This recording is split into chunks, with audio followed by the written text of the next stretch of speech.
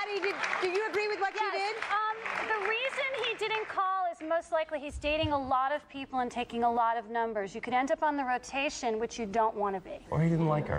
No, he Absolutely. probably So maybe he did you a favor.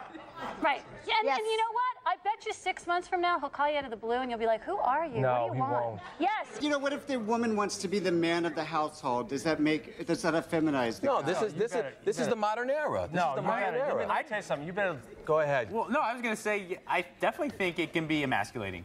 Yeah. Without question. If, if a woman's going to be, I I mean, here's the deal.